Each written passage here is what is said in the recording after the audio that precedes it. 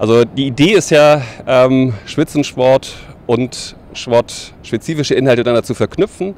Aber am Beispiel der Regatta China eben auch zu gucken, wie Sportkommunikation funktioniert.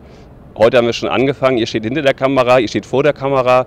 Wir werden hinterher das Material, was ihr jetzt heute aufgenommen habt, was wir die nächsten Tage aufnehmen, was wir nachher auf dem Wasser aufnehmen, aufbereiten. Wir werden gucken, wenn man das aufbereitet, wie man das aufbereiten muss für die verschiedenen Medienkanäle.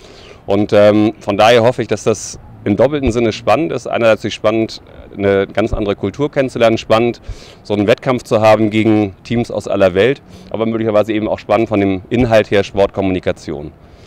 Und wenn man jetzt Richtung Olympia 2024 guckt, ist meines Erachtens das eins der ganz wesentlichen Bausteine, nämlich nicht nur zu gucken, wie kann eine Stadt sowas organisieren, sondern wie können auch die Hochschulen der Stadt auf dieses Ziel einzahlen, wie können die alle gemeinsam auf dieses Ziel zuarbeiten, das am Ende des Tages ist für die Besucher aus aller Welt, aber vor allen Dingen auch für die Hamburger ein tolles Erlebnis wird.